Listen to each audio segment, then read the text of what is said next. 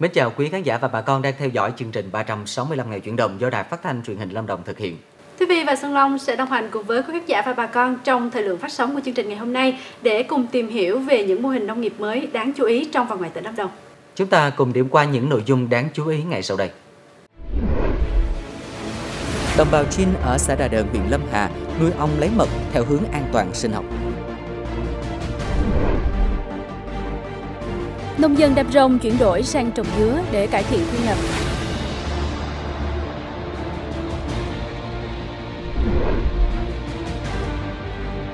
Xoài Úc rớt giá chưa từng có, chỉ còn từ 2 đến 3 ngàn đồng một ký.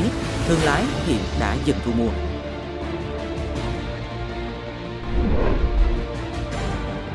Chuối già Nam Mỹ trồng ở Khánh Hòa theo tiêu chuẩn hữu cơ Mỹ.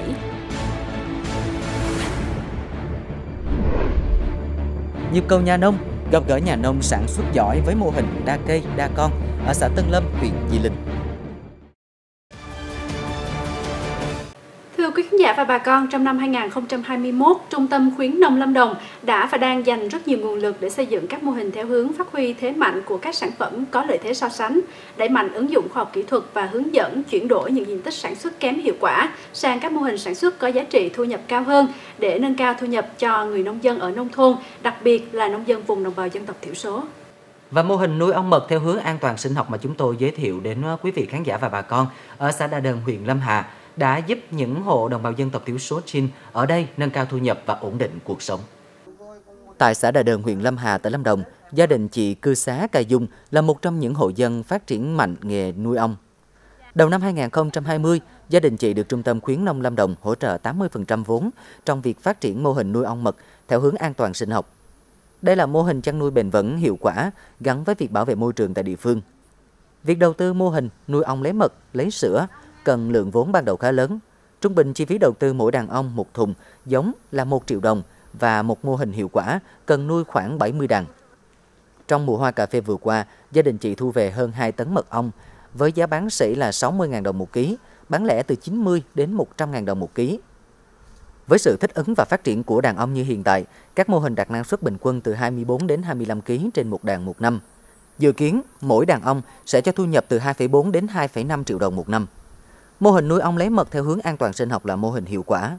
Đây cũng là mô hình cải thiện sinh kế, góp phần thay đổi nhận thức của người dân vùng đồng bào dân tộc thiểu số và nhằm tăng hiệu quả kinh tế, nâng cao ý thức bảo vệ môi trường. Những nguồn vốn mồi hỗ trợ đã giúp cho nhiều nông hộ khởi nghiệp vươn lên xóa đói giảm nghèo và có đời sống tích lũy. Vâng ạ, đúng vậy anh Xuân Long ạ. Và trong thời gian vừa qua thì có lẽ phong trào khởi nghiệp trên địa bàn tỉnh đã tạo nên sự lan tỏa rộng khắp từ các thanh niên trẻ cho tới những nhà nông hay là hội viên hội phụ nữ. Và trong chương trình ngày hôm nay thì anh Xuân Long có ờ, một điển hình nào trong phong trào khởi nghiệp muốn giới thiệu đến với chương trình không ạ? À, vâng, trong chương trình ngày hôm nay à, thì à, mời Thúy Vi cùng quý vị khán giả sẽ đến với phường 11 thành phố Đà Lạt thăm một mô hình khởi nghiệp khá thú vị của một chàng trai thanh niên 8X ở đây. Bắt đầu từ suy nghĩ, các công ty cấy mô quy mô lớn thường sản xuất cây giống để cung cấp cho các đơn hàng của những công ty lớn và xuất khẩu. Trong khi nhu cầu sử dụng giống hoa sạch bệnh, chất lượng tốt với giá thành phải chăng của nông dân lại rất lớn. Anh Đào Lợi ở phường 11 thành phố Đà Lạt đã đầu tư xây dựng một phòng nuôi cấy mô và một vườn ươm nhỏ quy mô hộ gia đình. Bắt đầu từ năm 2016, nhưng mất 3 năm thất bại, đến năm 2019, vợ chồng anh Đào Lợi mới thành công. Vốn đầu tư ban đầu bỏ ra hơn 400 triệu đồng để đầu tư bót cấy, nồi hấp, các trang thiết bị và hóa chất cần thiết. Anh chọn phương án làm theo đơn đặt hàng của nông dân để vừa nhẹ vốn vừa đảm bảo đầu ra. Hiện nay, phòng cấy mô của anh Lợi sản xuất từ 40 đến 50 ngàn cây giống mỗi tháng. Sau khi ra vườn ươm, cây giống được chăm sóc từ 1 đến 2,5 tháng, sau đó bán cho nông dân. Hiện giá cây giống Salem là 3 ngàn rưỡi một cây, đồng tiền 4.000 đồng một cây, sao tím 3.000 đồng một cây, mang về doanh thu trung bình 150 triệu đồng một tháng cho chủ nhân đào lợi. Lợi nhuận sau khi trừ hết chi phí từ 50 đến 60 triệu đồng. Hiện nay, anh Đào Lợi đang dự định mở rộng quy mô phòng cấy mô để đáp ứng cho số lượng đơn hàng giống lớn hơn từ nông dân. Nếu như nhìn vườn dứa này thì anh Xuân Long có đoán được nó được trồng ở đâu không ạ? Uhm, theo anh Xuân Lâm thì đây là vườn dứa Kazen ở Đơn Dương đúng không quý vị? Vâng ạ. À, đúng là Đơn Dương là vùng trồng dứa Kazen khá lớn, nhưng vườn dứa mà chúng ta đang nhìn thấy ở đây được trồng ở huyện Đam Rông. Do hiệu quả kinh tế của một số cây trồng thấp nên từ năm 2020 đến nay, nhiều hộ nông dân trên địa bàn huyện Đam Rông đã mạnh dạn chuyển đổi sang trồng dứa. Đây được xem là một mô hình mới của địa phương này, mang lại hiệu quả bước đầu rất khả quan. Đã có khoảng 15 hecta dứa được người dân đưa vào trồng tại các xã Romen, Đà Rơ San và Phi Liên. Nhờ hợp với khí hậu thổ nhưỡng nên cây dứa phát triển nhanh, ít sâu bệnh, quả to và đều. Bình quân mỗi hecta dứa cho thu nhập khoảng 60 tấn quả, với giá bán là 8.000 đồng một ký, mang lại nguồn thu cho người trồng khoảng 300 triệu đồng mỗi năm, cao gấp 3 lần so với trồng cà phê. Hiện cơ quan chức năng của huyện Đam Rông đang nghiên cứu để có hướng hỗ trợ người dân trong việc phát triển mở rộng diện tích cũng như tìm kiếm đầu ra ổn định cho sản phẩm từ cây dứa. Đây được xem là hướng đi tiềm năng giúp cho người nông dân Đam Rông có điều kiện để nâng cao thu nhập, cải thiện cuộc sống. Thưa bà con, thời điểm này là vụ thu hoạch của nhiều loại cây ăn trái, trong đó có xoài Úc. Và hiện nay à, hàng trăm hộ dân ở thủ phủ xoài Úc của huyện Cam Lâm, tỉnh Khánh Hòa đang phải khóc ròng vì rớt giá thê thảm. Hàng ngàn tấn xoài không ai thu mua, chín rụng đầy gốc. Nhiều chủ vườn cho biết rất khó để tìm thương lái thu mua xoài Úc vào thời điểm này. Những trái loại một sẽ được chủ vườn tự thu hoạch mang ra vựa bán, số còn lại tự chín, tự rụng và sẽ được thu dọn vào cuối vụ. Giá quá thấp, không đủ tiền trả công hái, các chủ vườn thay phiên giúp nhau thu hoạch mang đi bán để vớt vát lại ít vốn đầu tư. Theo các chủ vườn, mỗi năm xoài úc loại 1 có giá 20.000 đồng một ký, loại 2 khoảng 7 đến 8.000 đồng một ký. Còn năm nay, giá giảm sâu, các thương lái chỉ thu mua theo giá cào bằng từ 2 đến 3.000 đồng một ký. Còn theo các chủ vựa, năm nay lượng xoài úc thu mua chỉ bằng 20 đến 30% so với bình thường. Xoài úc Cam Lâm chủ yếu xuất sang Trung Quốc, năm nay không xuất bán được do dịch Covid và xoài Việt Nam không thể cạnh tranh với xoài Campuchia. Được biết, huyện Cam Lâm, tỉnh Khánh Hòa có gần 6.300 hecta xoài Úc, ước sản lượng đạt 40.000 tấn một năm. Hiện lượng xoài Úc tiêu thụ khoảng 20.000 tấn, thông qua khoảng 50 vựa xoài trên địa bàn. Còn khoảng 20 tấn xoài Úc đang tồn động tại các vườn và chưa biết bán cho ai. Cũng tại huyện Cam Lâm, tỉnh Khánh Hòa, giữa lúc mà xoài Úc còn đang phải loay hoay để tìm cách tiêu thụ, thì vườn chuối già Nam Mỹ này được trồng theo tiêu chuẩn hữu cơ của Mỹ, tình hình lại rất khả quan. Nông trại chuối già Nam Mỹ này của công ty trách nhiệm hữu hạn nông nghiệp sinh thái Việt Arieco được thành lập từ năm 2017 với trên 130 hecta đất rừng sản xuất, được hợp tác với 138 hộ đồng bào dân tộc thiểu số Rakalai ở thôn Văn Sơn, xã Cam Phước Tây, huyện Cam Lâm, tỉnh Khánh Hòa. Đến nay thì nông trại đã phát triển 25 hecta trồng chuối già Nam Mỹ hữu cơ xen dưới tán rừng. Dự kiến diện tích chuối sẽ tăng lên 60 hecta vào tháng 11 năm 2021. Trong quá trình canh tác, để đạt tiêu chuẩn hữu cơ USDA, nông trại phải tuân thủ theo nguyên tắc 50, đó là không sử dụng phân hóa học, không sử dụng thuốc hóa học, thuốc diệt cỏ, không chất kích thích sinh trưởng, không sử dụng hạt giống cây con biến đổi gen. Trung bình một hecta nông trại trồng từ 2.000 đến 2.300 cây chuối. Từ khi trồng đến khi thu hoạch chuối kéo dài từ 9 đến 10 tháng. Chuối sau khi thu hoạch sẽ được đưa về khu sơ chế, sau đó chuối được ra từng nhánh nhỏ, cho vào bể muối để rửa, rồi tiếp tục nhúng vào dung dịch chitosan chiết xuất từ vỏ tôm nhằm tạo lớp màng bảo vệ vỏ chuối tránh bị nấm mốc. Tiếp đến những nhánh chuối được vớt lên để khô ráo, quấn màng bọc paraffin giúp chống oxy xâm nhập vào quả chuối. Sau đó chuối sẽ được phân loại thành các size nhỏ, vừa và lớn.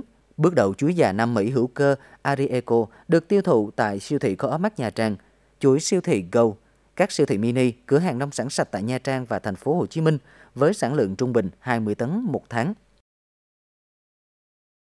Chuyển sang thông tin thị trường mà bà con chăn nuôi đang quan tâm. Hiện tại trên thị trường thì nhiều mặt hàng thiết yếu đang trong xu hướng tăng giá, nhưng giá thịt heo hơi và thịt heo lại giảm. Theo dự báo thì từ nay đến cuối năm, thị trường thịt heo sẽ không có tình trạng thiếu nguồn cung và biến động giá đột biến như từng xảy ra trước đây. Cụ thể, giá heo hơi ở khu vực miền Bắc giảm dần hiện bình quân khoảng 64 đến 70 000 đồng một ký.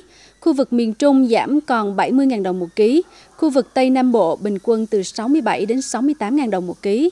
Khu vực Đông Nam Bộ, ngoại trừ Đồng Nai, giá heo hơi ở mức 75 000 đồng một ký. Các địa phương còn lại giá heo bình quân từ 69 đến 73 000 đồng một ký. Như vậy, so với cách đây 3 tháng, giá heo hơi trên thị trường đã giảm 12 đến 14 000 đồng mỗi ký. Giá heo hơi giảm, kéo giá thịt heo bán lẻ giảm theo và sức mua cũng chậm lại. Lượng thịt heo thương lái cung cấp đủ yêu cầu dù giá đã xuống thấp hơn trước từ 8 đến 13 000 đồng một ký, nhưng sức mua vẫn giảm. Trong khi đó, giới thương lái kinh doanh thịt heo cho rằng giá thịt heo đang trong xu thế giảm do nguồn thịt heo đông lạnh nhập khẩu vẫn tăng và bán giá rẻ hơn thịt heo sản xuất trong nước. Cũng theo Tổng cục Hải quan, riêng trong quý 1 năm nay, Việt Nam đã nhập khẩu gần 170.000 tấn thịt heo và các sản phẩm từ thịt, trong đó thịt heo nhập khẩu đã đạt 35.000 tấn, tăng hơn 101% về số lượng so với cùng kỳ năm ngoái. Trong thời gian tới, nếu dịch bệnh được kiểm soát tốt, nhịp độ cung cầu mặt bằng thịt heo sẽ được khơi thông và ngược lại.